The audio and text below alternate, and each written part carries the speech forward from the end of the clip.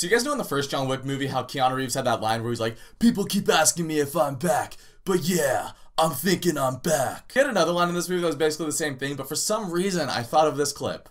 Told you I'd be back. Well, now I am.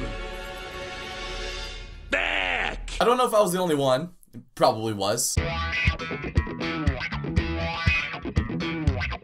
So John Wick Chapter 2 is the sequel to John Wick, the action movie from 2014. A movie that I really enjoyed. You can check out my review if you want. It was uploaded last week. Check it out. It's a good time. And in John Wick Chapter 2, I don't really want to give away too much of the plot because the trailers didn't really give you much and I didn't really know the plot going into the movie. What I do know is John Wick is back doing his John Wicky stuff. Is that a phrase? John Wicky stuff? Can we put that in the dictionary? Thanks. And at some point, he travels to Rome. That's about all I knew going into the movie. And John Wick Chapter 2, I think, is a pretty sweet action movie. First of all, you got Keanu Reeves. Say what you want about the guy's acting. I personally think it's awesome. But as far as action stars go and stunts and just commitment, this guy is the real deal. You can tell how many of the stunts in this movie he did on his own because you see his face as he's taking down these thugs. I think a lot of that is on Reeves' performance, but I think it also goes to the sound design, the stunt choreographers, the cinematography. All of that combined makes for some really sweet action scenes. And being in the middle of that, it'd be really easy for Keanu to be like, yeah, get a stunt double to do that. But no, the guy commits to his roles. He's passionate about this character of John Wick. And I do genuinely think that in the scenes when Keanu does have to show a range of emotion, he's able to show those ranges. Now, you're not going to have a scene like the end of Tom Hanks at the end of Captain Phillips or anything like that. You know, the character of John Wick isn't that emotional. But the guy does have emotions. He's got anger, he's got rage, he's got sadness, and I think that Keanu is able to convey that in every single point in the movie. And this movie does set up more of the assassin world. You know, John Wick goes to Rome, you find out there's a whole other continental there. And without giving too much away, it's really cool seeing the stuff that the first movie talked about just being expanded upon. One thing I think this movie does illustrate very well in the core plot as well as some other plot points throughout the movie. You guys remember the nightclub scene from the first John Wick movie where John Wick goes to kill Iosef, but Iosef gets away, but John Wick still kills all of his bodyguards? After the scene, John Wick calls Iosef on the phone and he just says,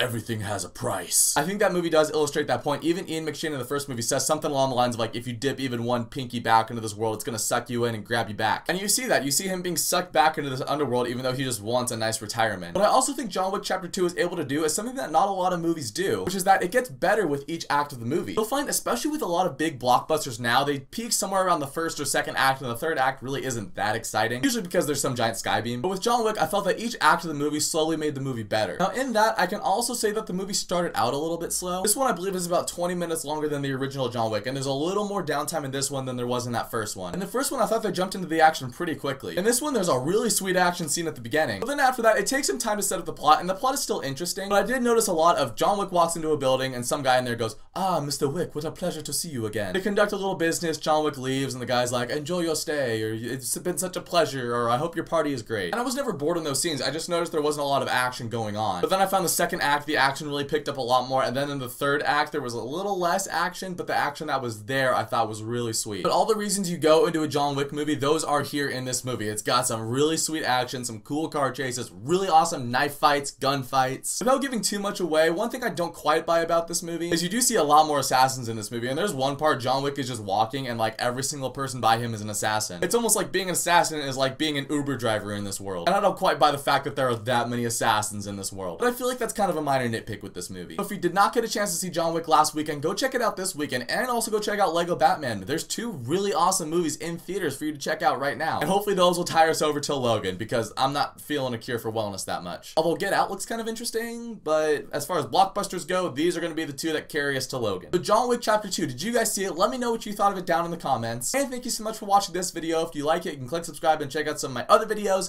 and I'll catch you guys next time.